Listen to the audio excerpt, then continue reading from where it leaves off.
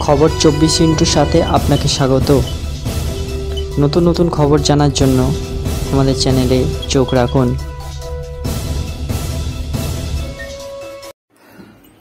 নমস্কার, দর্শক বন্ধুরা, স্বাগত আমাদের এই চ্যানেলে। জমি থেকে বিক্রি হওয়া সাতশো পঞ্চাশ টাকার আলু কীভাবে পৌঁছলো? হাজার পঞ্চাশ টাকায় কারা বাড়ালো? বস্তা পিছু তিনশো টাকা করে দাম। কাদের পকেটে যাচ্ছে সেই তিনশো টাকা? কৃষকরা পাচ্ছেন নাকি পুঁজিপতিদের পকেটে ঢুকছে? টাকা উঠেছে প্রশ্ন। এবছর মাঠ থেকে আলু তোলার সময় কৃষকরা প্রতি কেজি পনেরো টাকা করে বিক্রি করেছিলেন এক বস্তায় থাকে পঞ্চাশ কেজি আলু। অর্থাৎ এক বস্তার দাম ছিল সাড়ে সাতশো টাকা, আর বাজারে তিন মাস ধরে দাম ছিল কুড়ি থেকে পঁচিশ টাকা প্রতি কেজি। কিন্তু বর্তমানে দেখা যাচ্ছে হিমঘরের সংরক্ষিত আলুর দাম লাফিয়ে লাফিয়ে বাড়ছে। গত এপ্রিল মাসের শেষ থেকে সংরক্ষিত আলুর বিক্রি হয়েছে। নতুন আলু ওঠার আগে পর্যন্ত, অর্থাৎ আগামী বছরের জানুয়ারি মাস পর্যন্ত তা বিক্রি হবে।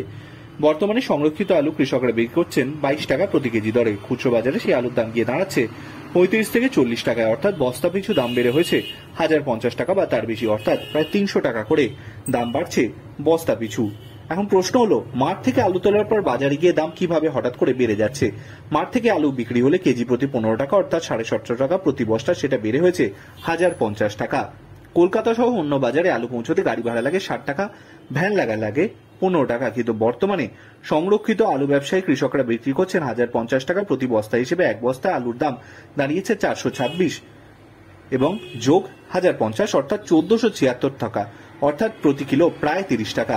বাড়তি তিরিশ টাকা কি আর বাদও পাচ্ছেন কৃষকরা নাকি পুঁজিপতিদের পকেটে ঢুকছে বস্তা পিছু তিনশো টাকা?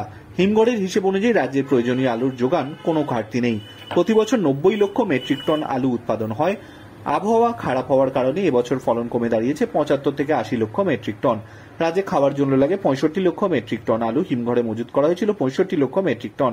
এপ্রিলের পর থেকে জানুয়ারি পর্যন্ত হিমঘরে মজুদ আলু থাকা ন মাস ধরে খাওয়ার জন্য বের করা হয়। হিসেব অনুযায়ী আগামী ছয় মাসে আলুর প্রয়োজন পঁয়ত্রিশ লক্ষ মেট্রিক টন আর হিমঘরে মজুদ আছে চল্লিশ লক্ষ মেট্রিক টন। Bureau report.